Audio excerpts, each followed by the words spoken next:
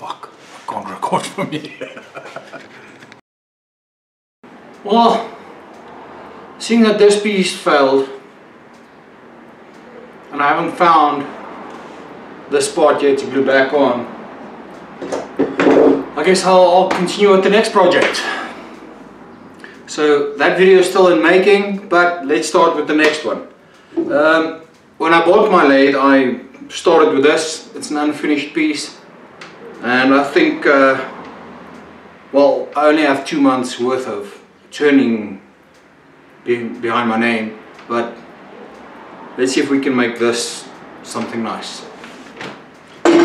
Let's get turning.